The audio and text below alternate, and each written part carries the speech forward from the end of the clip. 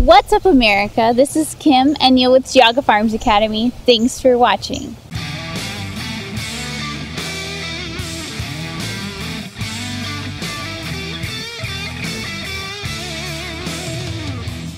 Today we're going to do a video about you have your CCW, now what? We get this question a lot.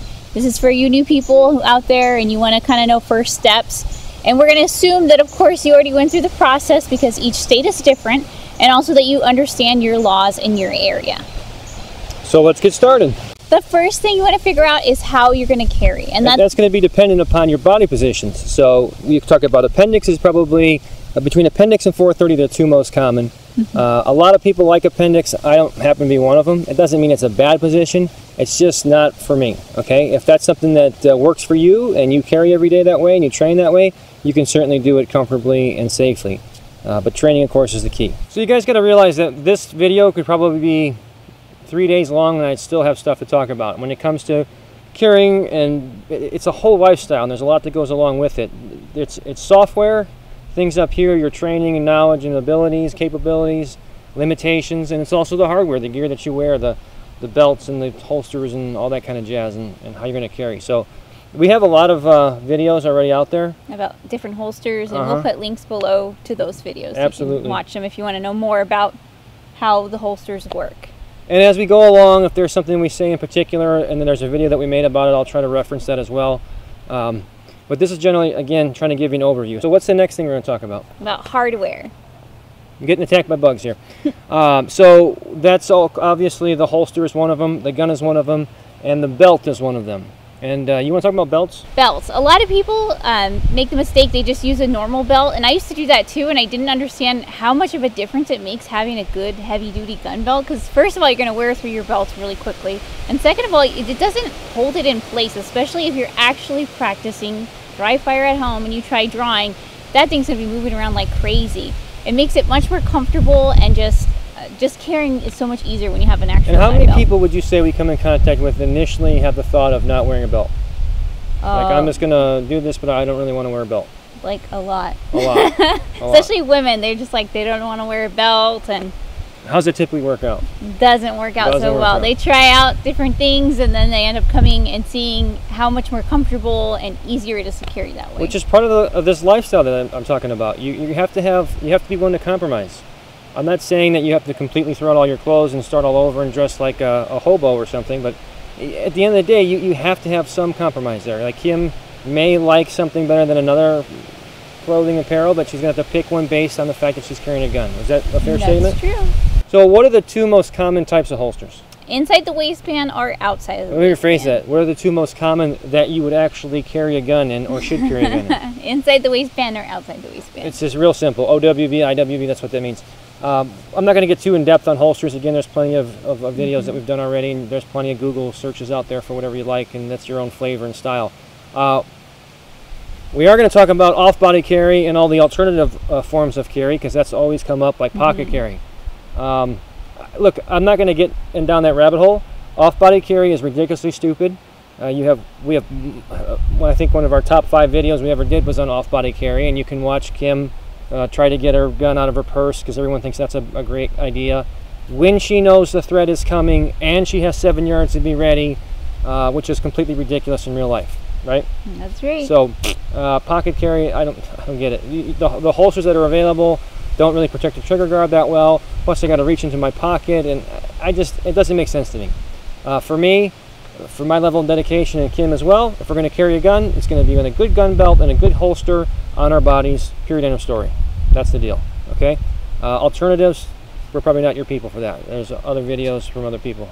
Mm-hmm. Is that fair? That's fair. All right. Next, you're going to want to talk about selecting a gun. Oh, Lord. Everyone's got, uh, you have to carry this gun or this brand or this or that, right? So here's, here's my two cents on that. There's lots of great manufacturers out there, but this is this cannot be disputed. Glock, Smith & Wesson, uh, and SIG are the three most popular gun manufacturers in the world as far as production pieces out there. So when it comes to holsters, equipment, and gear, if it's available for a Glock, Smith & Wesson, or SIG, I'm saying it will be available for one of those guns. Uh, does that mean that CZs or HKs or et cetera, et cetera, are shitty guns? No, I'm not saying that at all. There's a lot of manufacturers that make great guns, but finding exactly what you want may be a challenge. Okay, so I'm just saying from that point of view, that's that's where I would go. They all make a gun in any size, from full size competition to a little tiny single stack uh, gun. Okay, you got to find what works works best for you. Uh, that said, go ahead. I was gonna say. Also, you're gonna think about the size of the gun. I know everyone wants to go for the small one because it's really, really easy to conceal. Yeah. But it's gonna turn into a cannon in your hand, and you're not gonna be very accurate and shoot very well. So you got to have a balance. You want it to be large enough to where you can control it, shoot it well, and yet, you know, small enough where you can conceal it. Yeah, if you took a CCW class, which I'm assuming you did, maybe you don't need one in your state, but you took something, I hope. Uh, there's probably the instructor may have shown you different little guns and, and so forth, and and small concealment. But that you got to understand the training wheels, right, of guns, right, like the way you want to learn is from the largest physical size gun that has the biggest grip area, the biggest mass, all that, so you can learn the fundamentals of shooting. The, really, if you want to talk about advanced, that's when you get into the small guns, not the other way around. So the other one is calibers, which thank God that debate has finally pretty much died. There's very little argument about that anymore. Nine is the king of all. Uh, it's undisputable. The, the, the amount of, of ammo that is sold is not disputable. Uh, ballistically, not disputable. So 380, in my opinion, uh, it's the, the ballistics aren't as great as a 9 millimeter. You're not gaining any capacity. Uh, you're paying more for the round. They're really gaining nothing but even a smaller gun, and I think that's definitely a disadvantage when you're trying to control a gun like that. Uh, 40, I'm not even going to discuss. That's ridiculous. 45, I mean, you're just talking about such a large diameter round and, and how, how fewer in capacity you're carrying. It just doesn't make any logical sense. You're not really gaining anything from it. But shoot what you like. That's just uh, my take on that. So I just want to add this one too, as far as apparel and things. We talked about dressing for the gun. So the summertime, uh, typically a T-shirt like this is a large on me, and so it's it's pretty form-fitting. It'd be a little challenging to hide a gun. I mean, you'd see the outline and whatever. I don't really care about that, but this wouldn't be ideal. I would carry at least an extra large uh, T-shirt if I were going to do that. But one of my favorite um, items uh, is if I, w- I wouldn't be wearing a T-shirt underneath this, especially when it's hot, is um just a sleeveless, sleeveless, a short sleeve uh, shirt like this one, a button down. They're very light, uh, so they're they're just as comfortable as far as temperature goes as a T-shirt. Uh, but it's very loose and flowing, so I can I can carry my knife on me. I can carry my gun on me. Uh, there would be no way uh, at this time. I have a, a M&P compact with a flashlight on it, and in this in this rig, there would be no way for you to be able to see this once I have my shirt buttoned up.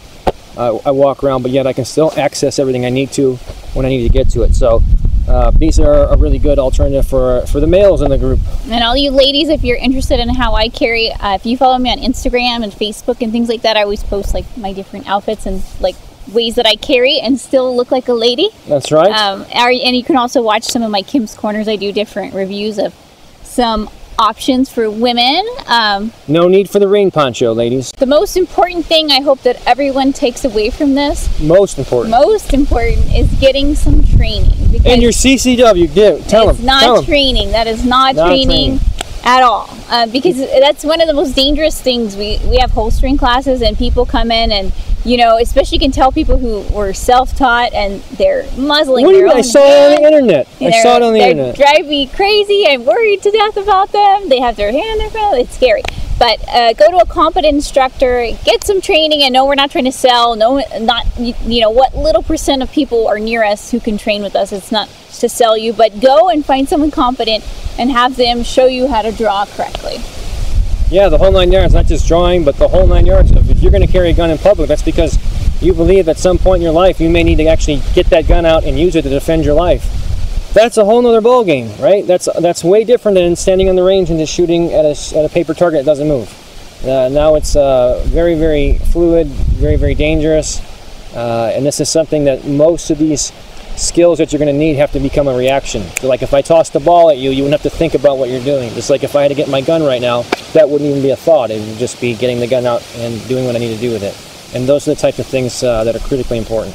Some other quick tips that might help you guys out when you start carrying is a really easy and cheap thing to buy is on Amazon they have those little uh, steel boxes you can keep for your car. They're like a safe. Uh, those are great to have because you never know what's going to happen. You know, if you're going to need to lock up your, your gun and Yeah, Gun Vault, I think is the name of the company. yeah, I mean, and there's they lots sell of them at the gun stores too, like twenty dollars. You can probably buy 'em at Walmart. Probably at Walmart. And uh, we have a video about locking your gun in your car, and it's just something to have. That way, you have peace of mind if you did need to leave it in your car. It's locked up safe, and you have a key for it. And then And there's usually a cable away. that comes with it too. And a You Use that you- cable, cable that to the frame of your car. I mean, to the the seat, and then stick that underneath there. And another thing is uh, planning your day. We have a really good uh, video with one of the top defense lawyers, and one thing that he suggests is like planning out your day, thinking about where you're going to go. Can you carry there? Um, you know, if there's going to be a metal detector, you're gonna. That's when something like that gun safe would come in handy. So knowing what you're going to do, and uh, planning your ahead. Yeah, absolutely. Not much to say about that. We'll keep uh, we'll keep adding little sprinkles on CCW videos, but there, we've done so many of them out there. Uh, we're just bringing back some of the old stuff that uh, people continue to ask questions about. So it's it's always going to be a hot topic and a growing one, which we're happy about to help out with. So Yeah. Oh, and also CCW insurance. Um, oh Yeah, that's something that you might want to look into doing. There's many top companies. Uh, we've done a video on it too. We can post that link. Um, but Here, let's cut to the chase on that one. CCW Safe. yeah, that's that's, the one we use. use. Um, and it's a Does it mean it's the only one? No, there's hundreds. no, and there's plenty other ones. So check them out and see which one fits you guys best. Um, but it's definitely worth the price. Oh, absolutely. And here's the other thing: people like that one, for example, is around 130 dollars for the year, and you go, "Well, that's too expensive." Well, then you definitely need it. Because what do you think uh, trying to defend your life in a legal battle is going to cost? We also got some new shirts in, so they're just like before, but they have our slogan on the back. So we'll have those up. Check them out if you're interested. It says, "I'd rather be judged by 12 than carried by 6." Bam, and we're out. Thank you guys so much for watching. If you have any questions or anything that you want to see us extend on, um, you know, let us know. If you haven't already, make sure you follow us here on YouTube. Click the little bell so you know when we put a video out. Follow us on Facebook, on Instagram, on Twitter. And until next time, remember, it's always, better to be judged by 12 than carried by 6.